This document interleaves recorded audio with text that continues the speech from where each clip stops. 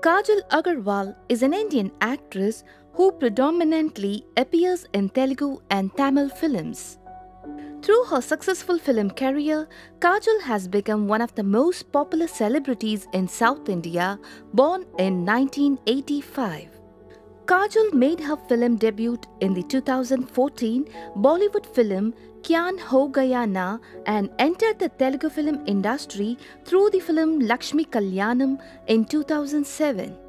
She had her first commercial success with Chandamama in 2007 and rose to prominence after her performance in Magadheera in 2009, which remains her biggest commercial success in Telugu cinema and fetched her a nomination for the Filmfare Award for Best Telugu Actress.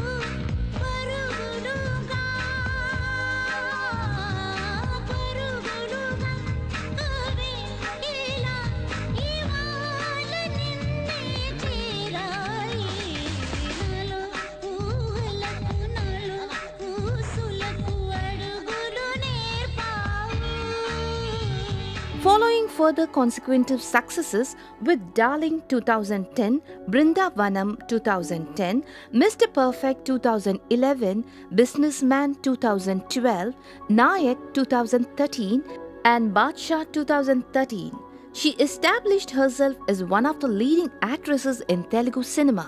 She also acted in Tamil films.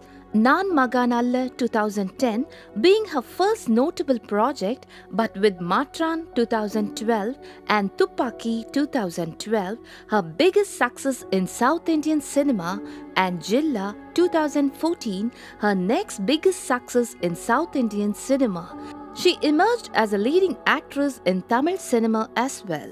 She made her comeback to Bollywood with Singham 2011, which was a blockbuster.